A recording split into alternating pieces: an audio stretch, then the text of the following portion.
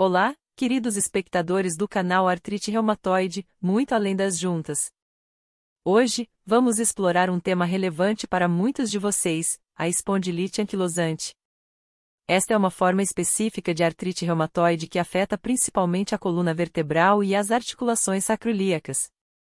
Vamos compreender o que é a espondilite anquilosante, suas características, sintomas e opções de tratamento. O que é espondilite anquilosante? A espondilite anquilosante é uma doença inflamatória crônica que afeta predominantemente a coluna vertebral e as articulações sacroiliacas. Esta condição pode causar inflamação, rigidez e, em casos mais avançados, fusão das articulações afetadas. Causas e manifestações articulares.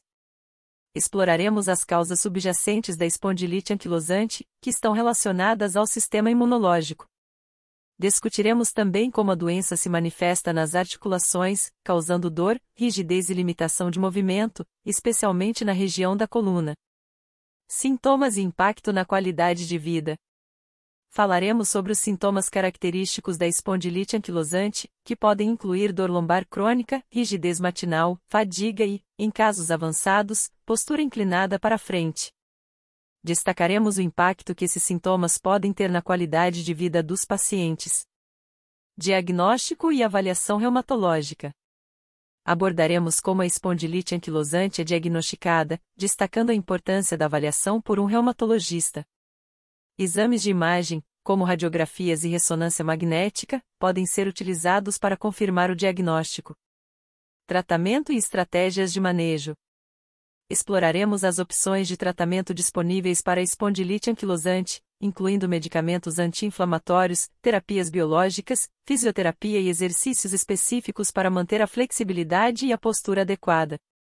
Estilo de vida saudável e cuidados contínuos.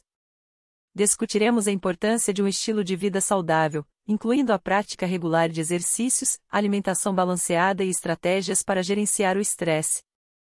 Cuidados contínuos e acompanhamento médico regular são fundamentais para o controle eficaz da espondilite anquilosante. Finalização e grupo de apoio.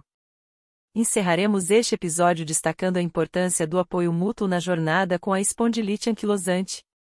Se você procura apoio adicional, temos um grupo de apoio no WhatsApp dedicado a pacientes com espondilite anquilosante. Compartilharemos o link na descrição abaixo. Juntos, podemos fortalecer nossa comunidade e enfrentar os desafios dessa condição. Agradecemos por nos acompanhar neste episódio do canal Artrite Reumatoide, muito além das juntas. Não se esqueça de deixar seu like, compartilhar com aqueles que possam se beneficiar e se inscrever para mais conteúdo relacionado à artrite reumatoide. Estamos aqui para apoiar você em sua jornada. Até a próxima, e lembre-se, estamos juntos para viver além da artrite reumatoide e da espondilite anquilosante.